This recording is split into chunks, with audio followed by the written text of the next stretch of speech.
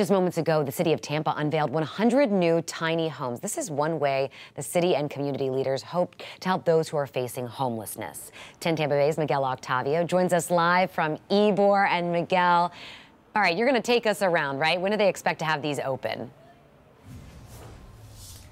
Well, Courtney, they're expecting to have these open sometime during the fall. These are tiny homes, not much space, but these are called Hope Cottages because they truly make a difference in people's lives. You can have essentials we take for granted, including a bed, a roof over your head, but a key thing here in these Hope Cottages, they will have electricity. This is going to be vital for them, especially during these hot summer months, even a heat during when it's cold. You can see the AC from above here. This is just going to make the difference for folks trying to get back on their track. We told you about these these homes about a year ago when those tents were up in place and those efforts were up.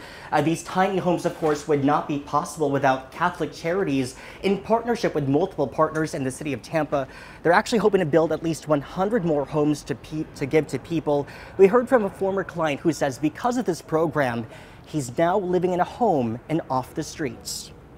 This is the outcome of the program for people who come here that's, you know, down on their luck and fallen short, that if you work this program and they're here to back you and something good can and come from it. Here just those homes as well. Catholic Charities and their partners also provide mental health resources. They provide job counseling, really things that can get people back to their feet. On average, most people will stay here for about four months. Uh, this is an alcohol-free space and substances are also not allowed.